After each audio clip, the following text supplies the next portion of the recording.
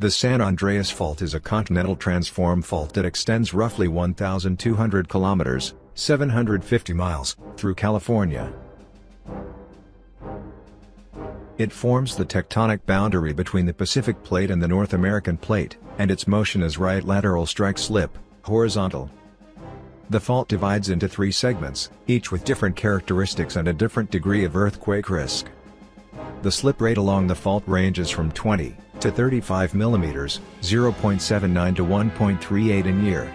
It was formed by a transform boundary.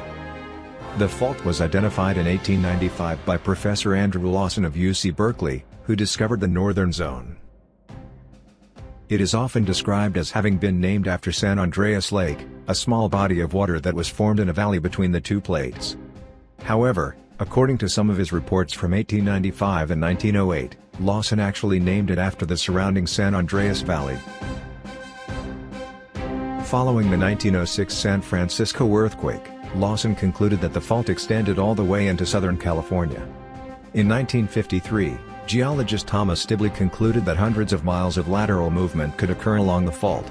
A project called the San Andreas Fault Observatory at Depth, SAFOD, near Parkfield, Monterey County, involved drilling through the fault during 2004 to 2007 to collect material and make physical and chemical observations to better understand fault behavior. When do you think La Falla will wake up? Write it in the comments. And if you like to subscribe to the channel, this way you can help us grow.